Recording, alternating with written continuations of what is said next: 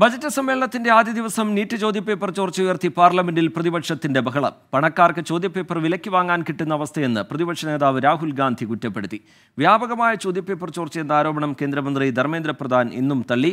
വികസനം കൂട്ടുത്തരവാദിത്വമാണെന്ന് പ്രധാനമന്ത്രി നരേന്ദ്രമോദി പറഞ്ഞു. ബഡ്ജറ്റ് സമ്മേളനത്തിന് ആമുഖമായി മാധ്യമങ്ങളെ കണ്ടപ്പോഴാണ് ശക്തമായ വിമർശനങ്ങൾ പ്രതിപക്ഷത്തിനെതിരെ പ്രധാനമന്ത്രി ഉന്നയിച്ചത്.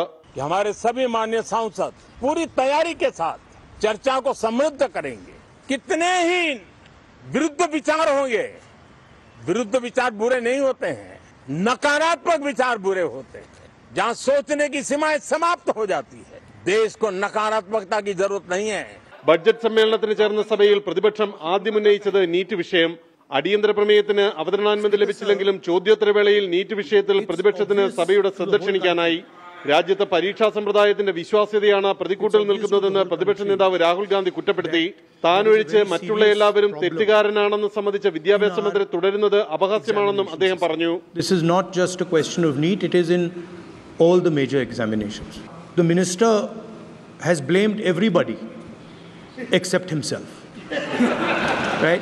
I don't, frankly, I don't even think he understands the fundamentals of what is going on here. There are millions of students in this country who are extremely concerned at what is going on and who are convinced that the Indian examination system is a fraud.